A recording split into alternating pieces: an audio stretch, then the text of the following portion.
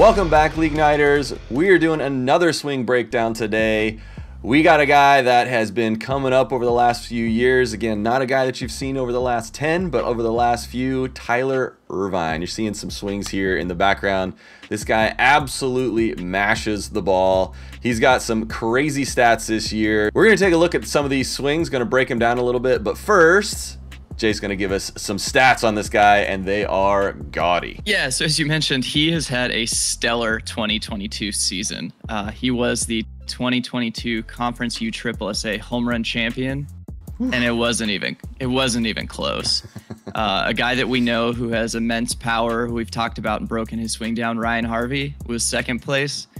He beat him by 36 home runs this year. Oof. It wasn't like it was close. He's the undisputed champ this year. How many does it take to be the undisputed champ? Oh, 150. Yeah. No, no joke. 150 home runs this season. That is a lot. 39% of the time, 39% of the time, he hit a home run wow. when he come to the plate. Two out of every five ABs was left the yard. That's just silly. It's about as automatic as you can get, I think. 756 on base percentage, so it wasn't like he was only a home run guy. He got on yeah. three at every four times too. So really helped his team to the Double A World's Championship. Yeah, it was very impressive for competitive edge. Uh, Double A team who ran into our Bay Area legends and unfortunately for us and our buddy Brandon Trailer and Laser Dave, they got taken down. But uh, you know these guys got some offensive firepower, and sure. Ervine is at the head of that uh, the head of that team there. Yeah, for sure. Any guess on his RP7, a number that we've checked out a lot of other guys for? Oh, geez. Uh, I don't have a good guess, but I can. I guarantee you it's 30 plus. Try 57 and a half. Oh my gosh. I think that's got to be the best we've seen. That has to be. Wow. And it's not like it's over a small set, right? The guy had probably 370 ish at bats this year. RP7 at 57 and a half is insane. That's crazy. That explains why he was both the double A and major world's offensive MVP. Yeah, I think he probably earned that. he was also a six time All Tourney team, including the Major World Series All Tourney. Uh, he was the 2022 home run champ, like I mentioned. He was also the Cut Four Sports Major Offensive MVP earlier this year. Overall, the guy was just an offensive juggernaut this yeah. season. Yeah got a little a few accolades there. Uh, so I think you guys are probably tired of hearing about all the accolades. You want to see why. So he's got a long list, and we're going to show you why he does what he does and how he gets all those. So uh, let's take a look.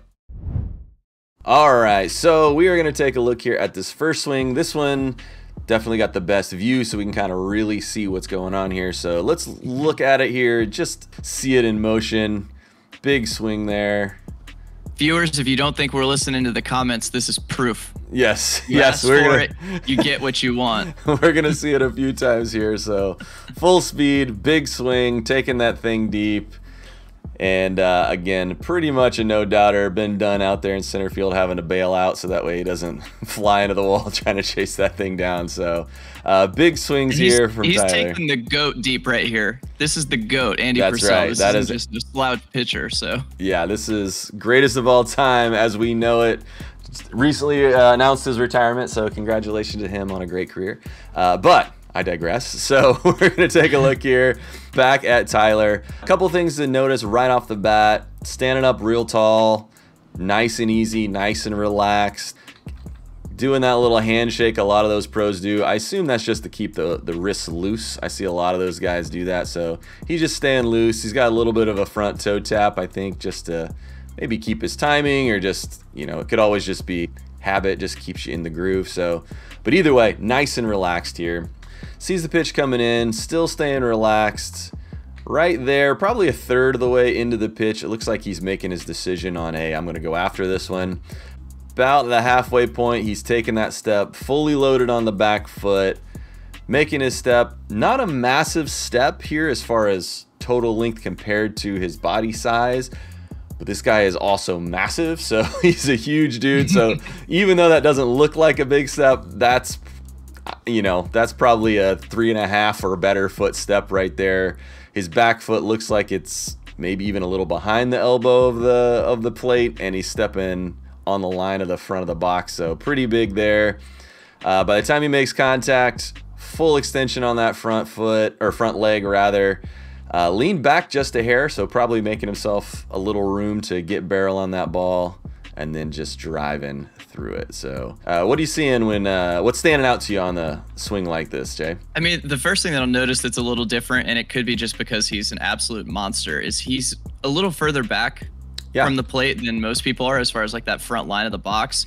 But again, he's got to be what six four maybe. Yeah, he's um, he's a big dude. So that could be why he's able to stand back a little further. Uh, like you said, quiet hands. You know, he's got that little wrist flick. A lot of that, I think, uh, people do that too to prevent them from getting uh, caught off guard with the deeks. Yeah. They just do that and they just keep doing that until the pitch comes. So it's a way for them to counteract all the, you know, U triple SA dancing on the on the mound by pitchers. Yeah. So you see, I mean, we saw Nino who does it almost as like aggressively as anybody I've seen where he gets the bat at least flat, if not almost pointing down. So a lot of them do it, and I assume it's probably, like you said, partially just a timing thing. Yeah. And another thing is just to, to not get out of rhythm until the pitch comes. He, he had a little bit of a squat, which was interesting to me. He gets that really big leg kick that you see here. Yep. Kind of loads up that low. back leg. And he, he drops the hips a little bit. And I wonder if maybe it's because this pitch maybe came in a little lower than, because I mean, you look at contact point is yeah. or even mid thigh. So you may be loading down to get down to that because he doesn't have quite the normal flat bat path that you typically see. Yeah. Um, and that could be just a result of him standing further back. But if he was a baseball player, you know, that's a happy zone for a baseball yeah. player with a little yeah. bit of upcut. Um, but yeah, great hands to the ball. You really see the head barrel, like looking right down the barrel of the bat too. So he's got yeah. great eye discipline. Uh, chin goes shoulder to shoulder, which is just textbook to keep that head down so he's not pulling off early. Great front leg lockout at the back. Um, really throws his hips all the way through it, and you'll see his body come even just a, a little bit more than that full turnaround, which is just showing how much he's throwing that weight through the swing. And yeah, again to your point here, this one is a little bit more of an upper quote unquote uppercut than we have seen uh, from some of the other guys. And again, you're right, probably because of where the pitch location is. But one thing to note, even though he's swinging at a low pitch with an upward trajectory, check out where this bat ends up. So bat's right here, right? Nice and easy. Comes through, and then on the backside, that's still a flat plane. So he's still swinging flat, but he's angled his flat, right? So unlike a lot of the baseball players, like you said, that will actually get kind of a, a, little bit of a U shape in their swing. He's still keeping that super flat plane just like you need to do in softball. So I'm sure he's getting a bit of a cut, some backspin on this thing too.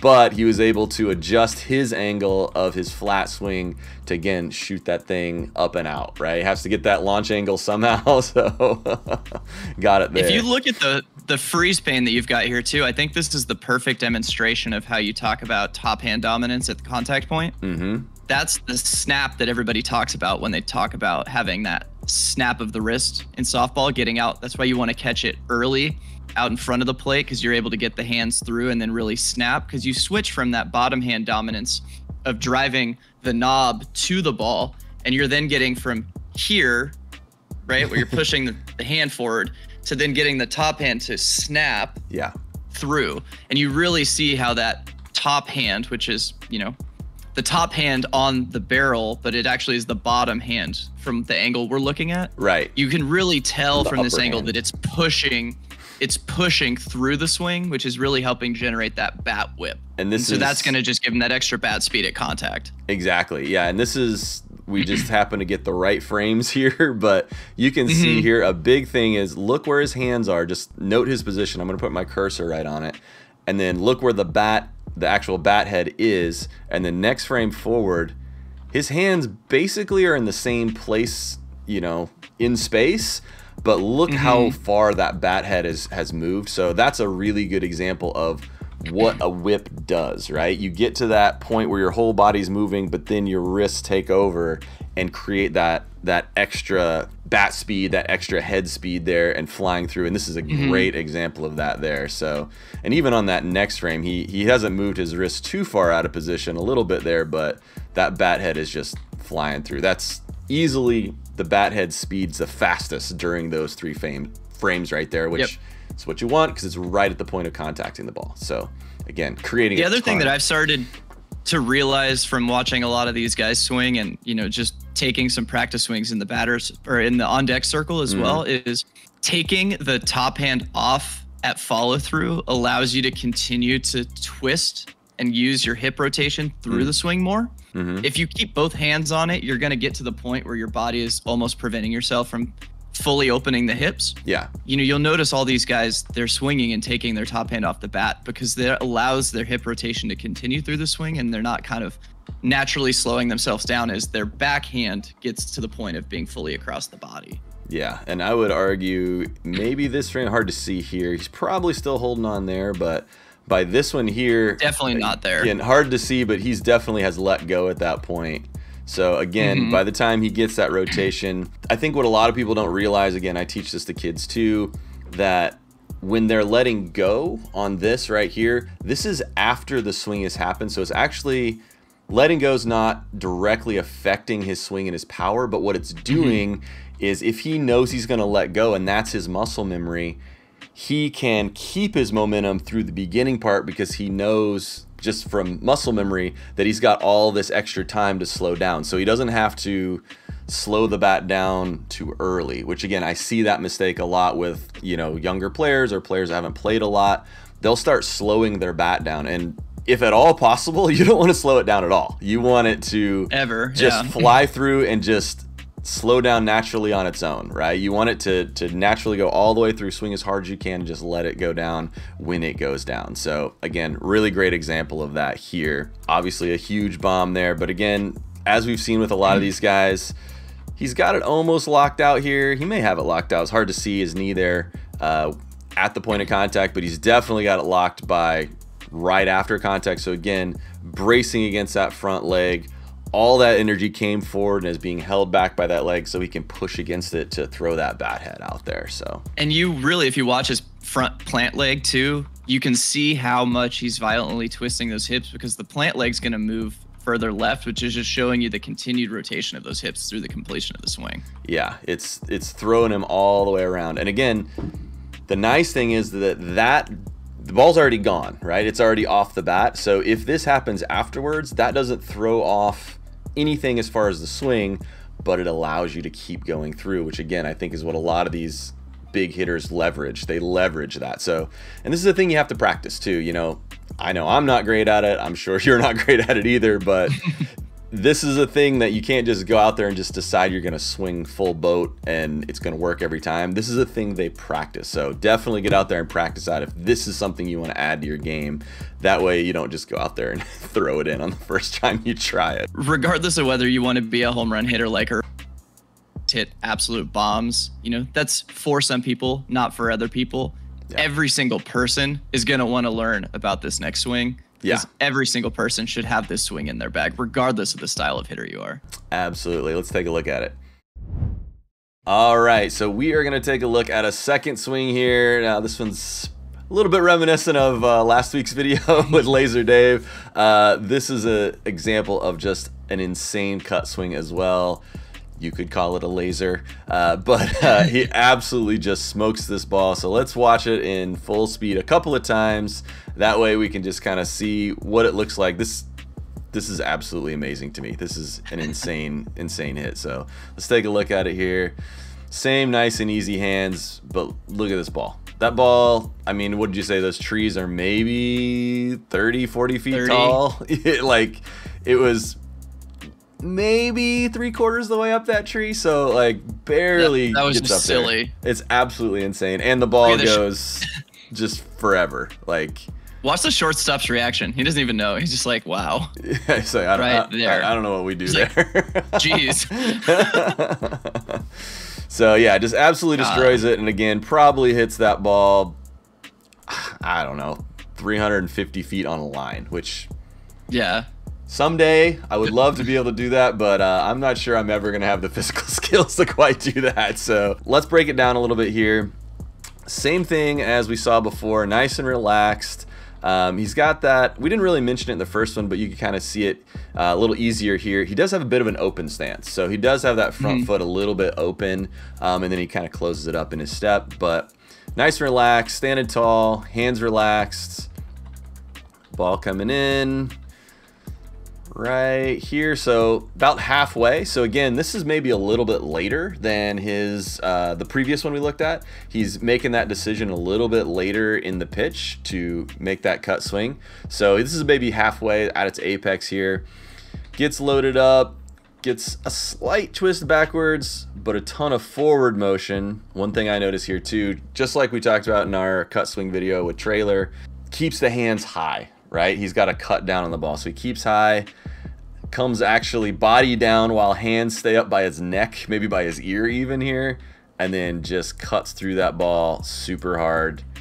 And again, by the time it's going out of the infield, which didn't take long, it's probably only 20 feet off the ground. So uh, pretty wild there. So uh, what are you seeing on a swing like this? First off, it does look like he might be a smidge closer to the pitcher than the previous swing. So you know, he's definitely going to catch it a lot higher. Yep. In the uh, the body, which is great. He, like Brandon says in the cut swing video, you really have to go out and get the ball, right? You have yeah. to go attack it, and you really see him going to get it. Love the hand position at that that spot right there. So hands super high. They're at or above his ear right here, right? Yeah. So he's really starting that cut plane really, really high. And then as you go frame by frame, watch just how aggressively those hands are coming down, but his head stays on the ball so well. So you see as he's coming down instead of flat, his head just stays super disciplined on the ball. And you even see the negative decline there when his hands get through his belly button and you see them come out the backside, just how aggressively his hands and his arms are pointing down through follow through really generate that really solid back cut swing, getting all that backspin going. And man, that thing just takes off. It does. That's it went so fast. Like that's what's so crazy. It's just the the speed in which it leaves the park on this. Now again, I don't know this park, so I'm not exactly sure what the what the distance is. But again, we can guarantee if it's a major, it's at least 300.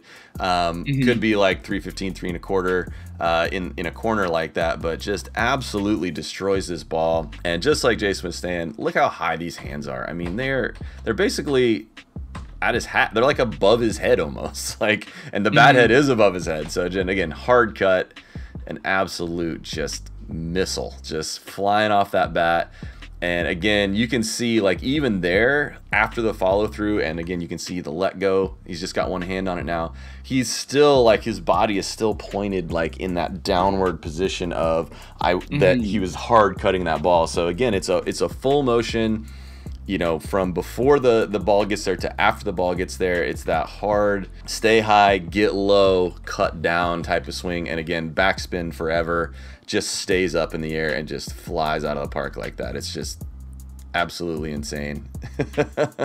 uh, he's also happens to be swinging. Shout out to Suncoast and uh, and Brandon. He's swinging uh, the competitive edge uh, Suncoast Ruckus, which is I think him and a few of other teammates uh, all had kind of a signature team bat there uh, by Suncoast, and I think he's got one coming out of his own in uh, 2023 for for uh, Suncoast as well. So pretty cool that he's he's got that now. I'm sure they're going to get a lot more attention now that they've won a bunch of stuff and gone deep in uh, in worlds as well. So um, let's just take a look at it again. Here it is in a little bit slower motion just to see it. Just a ridiculous cut there. Things Just silly. I know this is this is something I have to add to my toolbox for sure, but uh, it's definitely going to take a little bit more work. I've been working on it a little bit, but I certainly don't have anything of this level. So, any final words on this? No, I think his uh, his swing speaks for itself. All right, so that is our breakdown of Tyler Ervine. Absolutely insane hitter. Ton we can learn from this guy. So uh, I definitely recommend everybody taking a close look at these swings and seeing what you can glean from these. Definitely want to say congratulations to Tyler and Competitive Edge for all their such a great season. Again, winning Double A Worlds, and don't quote me on this, but they were top. They may have been in top two for uh, for uh, Worlds in general too. So absolutely great, great, great season for them. And of course, he had a great season too, leading in home runs, getting a ton of tournament offensive MVPs and all that. So uh, great for him. We appreciate you guys sticking around, watching another one with us. Make sure to like, subscribe, give us a thumbs up, check out some of our other videos and playlists. We really appreciate it. And we will see you guys next time.